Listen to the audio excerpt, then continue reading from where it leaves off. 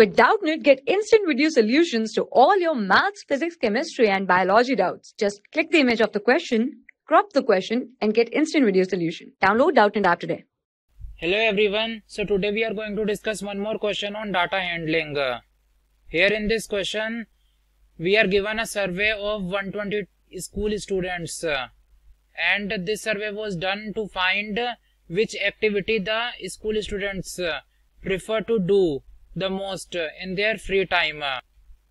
So from this data we need to draw a bar graph to illustrate the above data taking scale of uh, 1 unit length is equal to 5 students.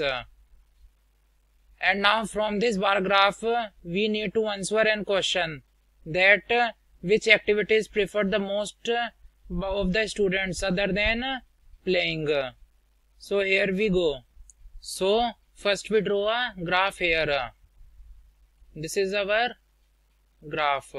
Now in the question we are also given the scale which we need to follow while drawing the graph. So we are given that 1 unit length should be equals to 5 students. So here we take 1 unit length is equals to 5 students. So this is 5, 10, 15, 20, 25, 30, 35, 40, 45, 50. So this is our y-axis. Now we also draw the x-axis on which we take the preferred activity. So here we have five preferred activities. Playing, reading storybooks, watching TV, listening to music and painting. So first let us draw for the playing. So for playing there are 45 students. So here we draw 45 students are there who want to play in their free time. Now after playing there are 30 students who prefer to read storybooks in their free time. So here we have 30 students. So here we have 30 students. Then after reading books we have those students who like to watch TV. So there are 20 students who like to watch TV. So here we have those 20 students who prefer to watch TV in their free time. Then after this there are 10 students who prefer to listen to music in their free time. So here we have 10 students who prefer to listen to music in their free time.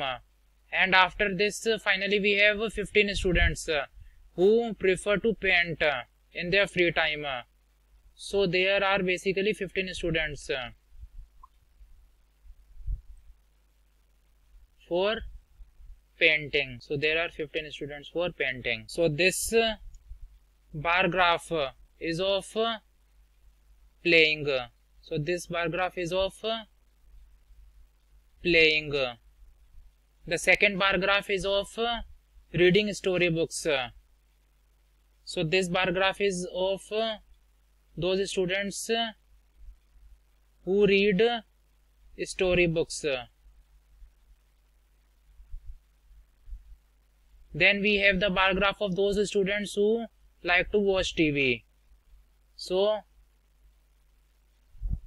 these are those students who like to watch television in their free time.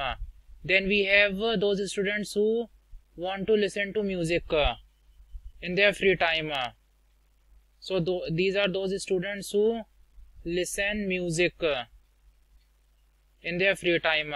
And at last we have those students who like to paint in their free time. So this bar graph is for those students who like to do painting in their free time. Now in the question we are also asked that which activity is preferred by most of the students other than playing.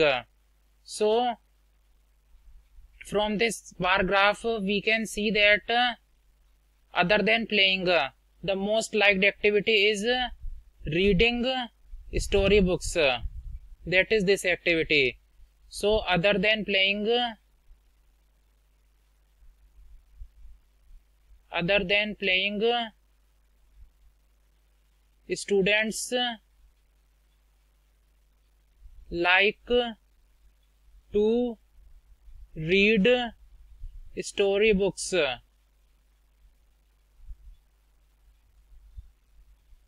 In their free time